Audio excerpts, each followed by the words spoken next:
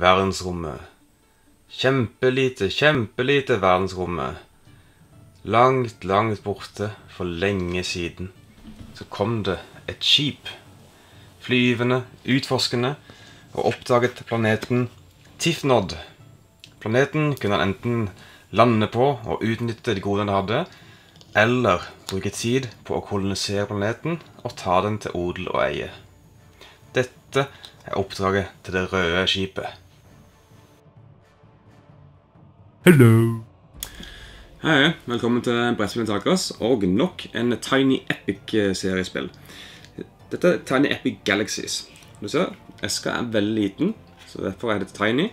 Og så sier de Epic, for det skal liksom være skikkelig stort, samtidig som det er i galaksen. Så Tiny Epic.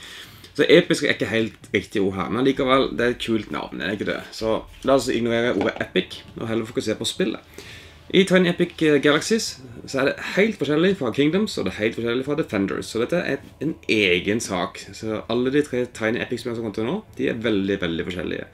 Så det første Defenders var ikke så veldig positivt. Og Kingdoms syns jeg var helt greit. Hva syns du om dette, da? Hver spiller får hver sin galakse å leke med. og du ser, Det er veldig mye tall på det brettet her. Men alle tallene er veldig logiske. Vi kan begynne her. Vi har uh, mye kultur du har. Vi har mye energi du har. Vi hvor mange raketter du har i galaksen din. Vi har antall terninger som du triller på turen din. Vi har skip som du kan få tilgjengelig. Og vi har nivået på imperiet ditt akkurat nå. Det går opp til seks, ser du. Så her er det veldig mye informasjon, og det er veldig nyttig også. På baksiden så har du noe som heter for AI, altså kunstig intelligens, som du kan bruke for å spille spiller alene. Men vi fokuserer nå på denne først, og så tar vi den her andre etterpå. For å vinne spillet så må du ha 21 poeng. Og poeng får du ved å ta disse planetene her og enten lande på dem for å gjøre egenskapen som står der, eller prøve å kolonisere og bruke tid på det for å ta planeten inn og legge i din egen galakse. Så du, du stjeler på en måte planeten eller du tar i hvert fall over den. Så dette er en slags eh, utforskningsdel hvor du utforsker andre planeter og prøver å utnytte de ressursene som er der. Hver planet er veldig forskjellige. Du ser, De har et symbol der oppe som viser hvilken ressurs de gir. Og de har også her en sånn eh, track som viser hvor vanskelig det er å få tak i planeten. Og dette er poengene de gir. Her i bunnen så har du da en egenskap som planeten gir hvis du lander på den, eller hvis du får den til odel og eie. Og du ser det er veldig veldig stor forskjell på planetene her.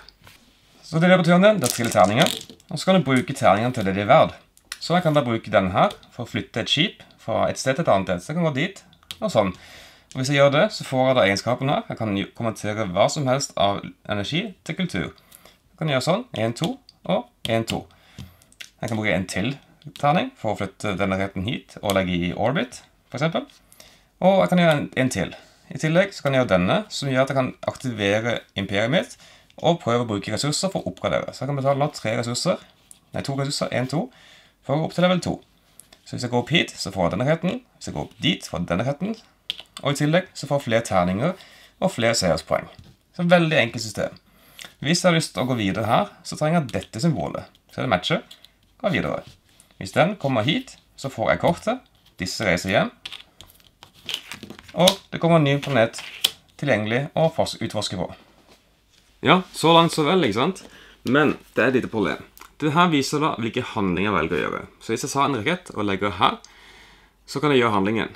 Men det betyr også at alle andre spillere rundt bordet kan kopiere den handlingen og gjøre den etter meg, så lenge de betaler en kultur for å gjøre det.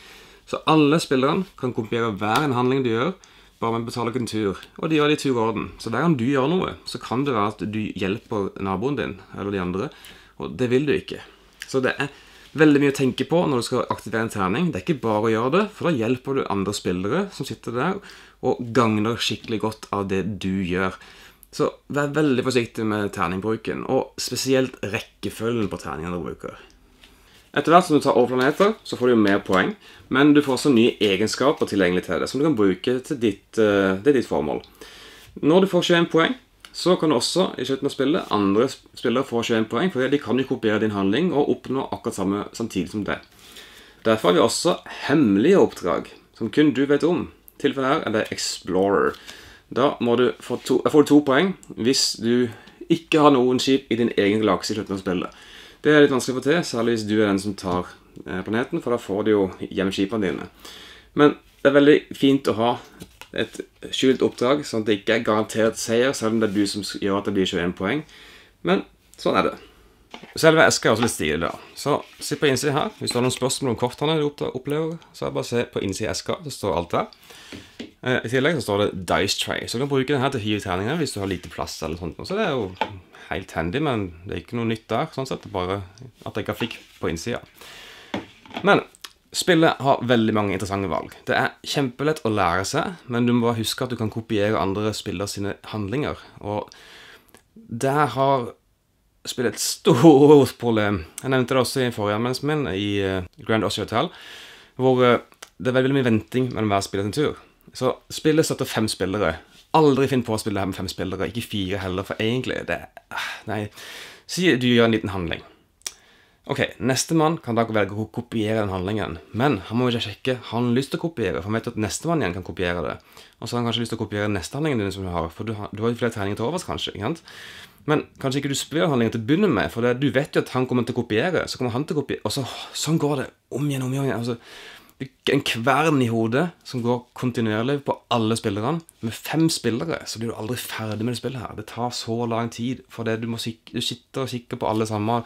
Du vil selvfølgelig gjøre handling, men du har ikke lyst til å hjelpe andre. Og så sitter du der og ikke gjør noen ting istedenfor. Og det er fryktelig, fryktelig irriterende spill når det er sånn. Men med to og tre spillere så er dette et veldig kult spill, det må jeg si. Eh, Så er det litt om solospilling. Jepp, du kan spille solo, altså alene mot en AI. Og AI-en det er sånn på baksiden av disse galaksene. Og det er forskjellige AI også, så du kan velge en sånn vanskelighetsgrad på hvor vanskelig du ønsker å spille mot. AI-en spiller med terninger, den også, men han gjør alltid ting én og én terning, så du vet aldri utfallet. Og han har et veldig fast mønster på å gjøre ting, alle veldig strikse regler, som du kan ikke jukse på noen måte. Så du må få med deg opp til 21 poeng. Men hvis han klarer det før det, så vinner han. Og han spiller med litt andre regler enn det du gjør. Han kan nemlig kolonisere enklere, og ja, han tenker jo ikke. Han bare gjør det som står på kort på terningene sine, i den orden det kommer i. Uh, og hvis han klarer å oppgradere sin koloni til maks, så vinner han også. Så det er veldig mye som stopper deg for å bare ta det godt med ro. Du må skynde deg, akkurat som er vanlig. Så solospillet funker også veldig godt. Det er kult med de forskjellige nivåene. Og det tøffeste nivået er helt grusomt. Men terningene er også litt med på å bestemme hvor vanskelig det er. Av og til går det ikke bra i det hele tatt, og av og til så får du bare sånn plankekjøring. Jeg fikk spille via Kickstarter, og da fulgte det også med en sånn her eh, satellittutvidelse. Så jeg vet ikke om den følger med i spillet. Den står ikke nevnt i regelboka, så jeg tar ikke nevne den. Men den er kul, den også. Men Tiny Epic Galaxies det er den beste av Tiny Epic-spillene til nå. i alle fall. Jeg liker dette veldig godt. Altså, Kingdoms var OK, som sagt, og Defenders litt ikke, men dette her er et veldig bra spill så lenge du holder til tre spillere eller mindre.